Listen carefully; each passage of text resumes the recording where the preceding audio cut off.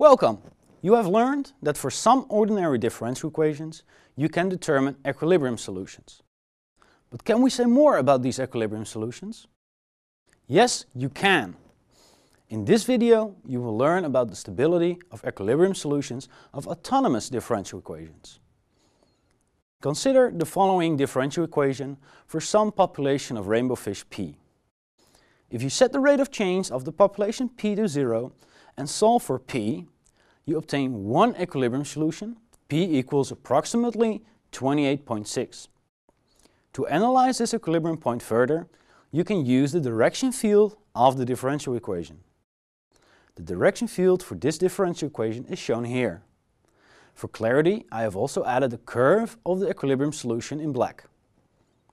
So now let us take an initial population of 25 fish, so p at time 0 equals 25, and sketch the solution curve in green. As you can see, if time increases, the green curve goes down quickly.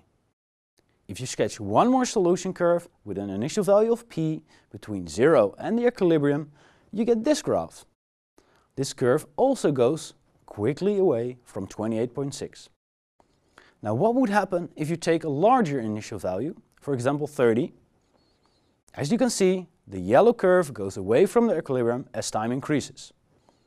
If I sketch the solution curve for the initial value 35, I get this second yellow curve. Again, this curve goes away from the equilibrium as time increases. You can continue to sketch some solution curve, which should give you a graph like this.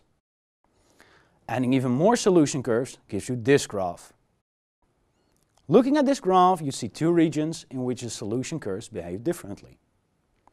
If the initial value is below the equilibrium, the solution curve moves away from the equilibrium and towards minus infinity as time increases. And if the initial value is above the equilibrium, the solution curve moves away from the equilibrium and tends to infinity as time increases. This is a lot to say, so maybe we can summarize this in a new type of graph.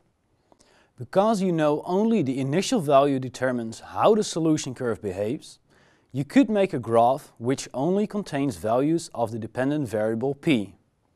Our previous conclusion shows that the important value is 28.6, so let us draw a vertical line containing this value, indicated by the point.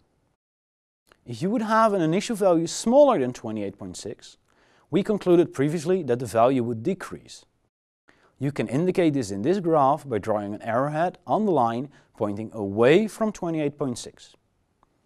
In a similar fashion, you can draw an arrowhead above the equilibrium which points upwards, because any initial value larger than 28.6 will give a solution curve that tends to infinity.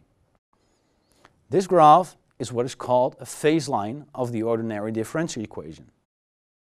Now let us take a closer look at the phase line and a population of 28.6 rainbow fish. This point has above and below two arrows pointing away from 28.6. This means that if you have a smaller or larger population, your solution curves would move away from this value. The value of 28.6 fish is what is called an unstable equilibrium point of the differential equation. In a phase line, an unstable equilibrium point is always surrounded by two arrows pointing away from the equilibrium point. So you now have found that a population of 28.6 rainbow fish is unstable. Of course, other types of equilibria exist, but these you will encounter in a different part of this course. In the next exercises, you will construct a phase line yourself and classify the equilibrium points.